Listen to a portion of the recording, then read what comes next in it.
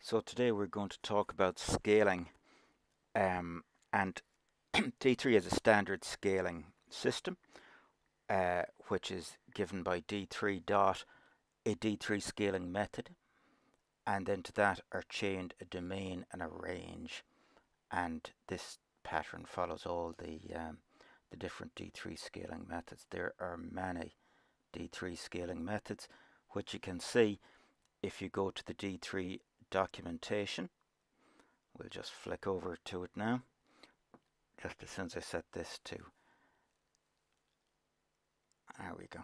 So there are many scaling methods, linear scales, time scales, power scales, log scales, um, symlog scale. God only knows what that is. right there, there are more scales here that than really you're going to need, but the most common one is scale linear, and that's what we're going to look at now um, and scale ordinal. You'll also use scale band for bar charts, use scale time sometimes for um, plots against time, but scale linear is the is the commonest and it's the easiest to understand. So double bonus.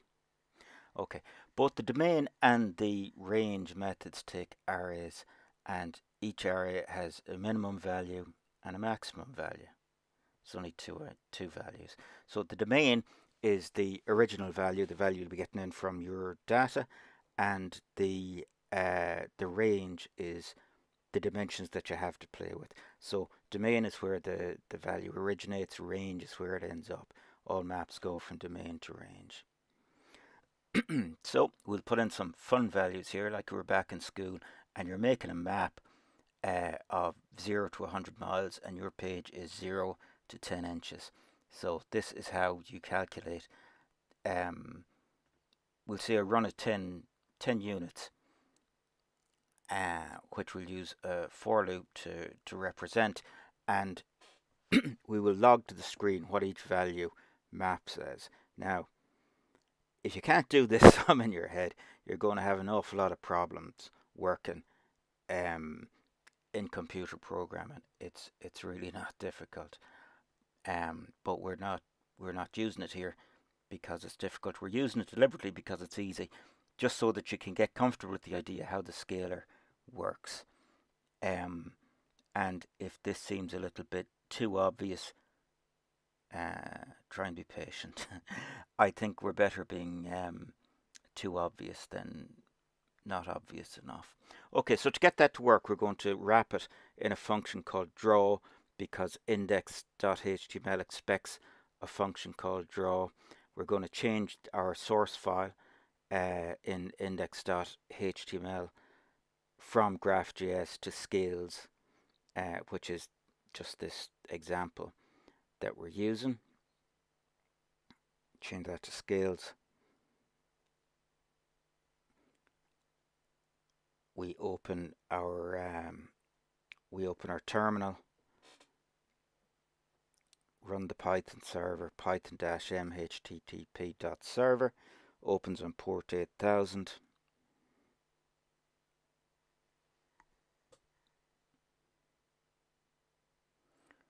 uh, we inspect and here is our data graphed out. Now you'll notice that some of the math is a little sloppy for uh, for 9 and for 7 that's something that we're going to be looking at later on how to tidy that up. Say JavaScript was a language written in a hurry. So we're going to copy we're going to copy our scale method and we're going to paste it into graph dot uh, graph.js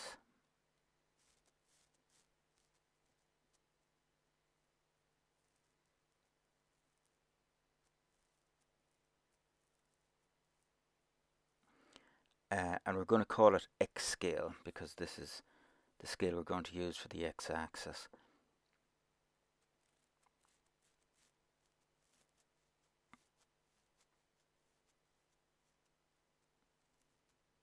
Now, obviously, a hundred isn't the um, isn't the maximum value of our iris. So what we're going to have in the plot is uh, from the iris data set petal length versus petal width.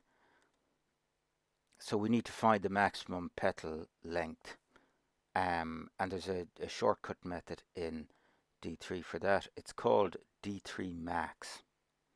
So our minimum value is 0 and we replace the 100 in the main, the maximum value with D3 max. D3 max takes two parameters. One is an array, which in this case is data, and the other is an, an accessor function, uh, which will tell D3 max which particular um, value, which key in the in the array it's defined the max of. So uh, d maps to d petal length is our accessor function.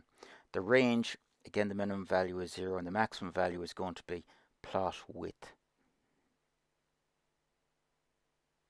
Which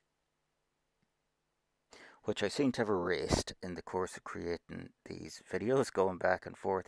So I'm going to put them in uh, again and um, you know it, it does show the value of creating plot width and plot and plot height even though they seem obvious values um, it's just handy to have them covered under a variable name rather than having to calculate them as sub values the more variable names you have the better because it's easier to remember what's what and it's much easier on anyone that has to look at this code again figure out what it is if you have semantically meaningful names it really does people a favor.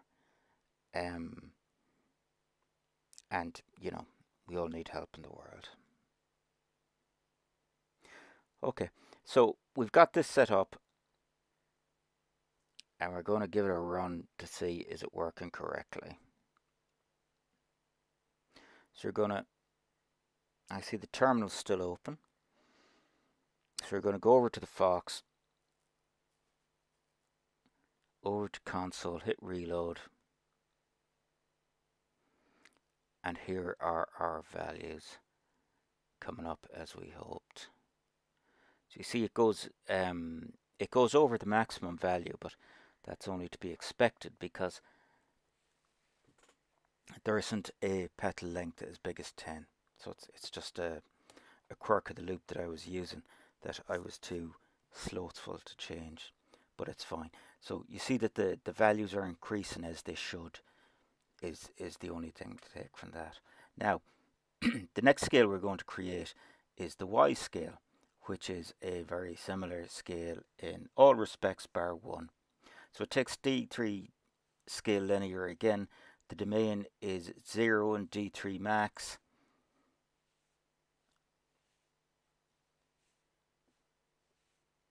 That's data and petal. I always forget if it's width or height. So I'll go back and check. It's petal width. Always go back and check. It's it's better than guessing. You're always tempted to guess. It's always a mistake. Now, an interesting thing here about the range. D3 counts height backwards. So your range zero value is actually the plot height and the maximum value is zero. So in any y, in any vertical axis, any y axis, your scale is going to be reversed. It's important to remember that. We run this again and we see that the numbers are in reverse value here as they should be. We also see the long trailing digits um, as we've seen before that are going to be a problem later. Not an insurmountable problem, but just something that needs tidying. Now, having looked at our two X and Y scales, we have one scale left, and that's the color scale. And color is not a linear scale, color is an ordinal scale. And what ordinal means is that you have categories in the domain and categories in the range. The domain categories will be the names of the iris species themselves and the range values will be colors, so one color per species. So we'll go over to the iris dataset to get the names and just fill them in.